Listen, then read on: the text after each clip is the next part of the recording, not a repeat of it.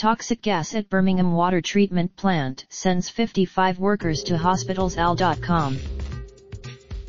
The chemical spill at a Birmingham Water Works water treatment plant that sent 55 people to the hospital Wednesday morning has been contained, Water Works officials announced Wednesday afternoon. Somehow, two chemicals commonly used to treat water, sodium hypochlorite and ferric sulfate, were accidentally mixed, creating a toxic gas. Some of the effects people can experience from being exposed to chlorine gas are sneezing, nose irritation, burning sensation and throat irritation, nausea, vomiting or a headache. People may also 14 contractors and one Birmingham Waterworks employee were initially sent to the hospital with respiratory issues, officials said.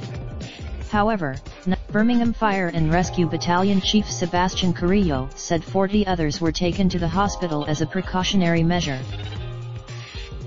Jackson said the BWW has not determined why or how the chemicals got mixed.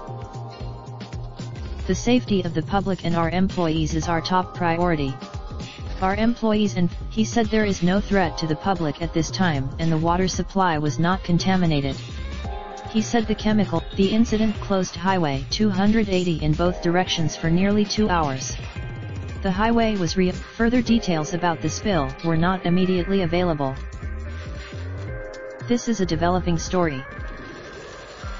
All lanes of US Highway 280 are now open. Registration on or use of this site constitutes acceptance of our end. 2019 Alabama Media Group All rights reserved apply to all content you upload or otherwise submit to this site.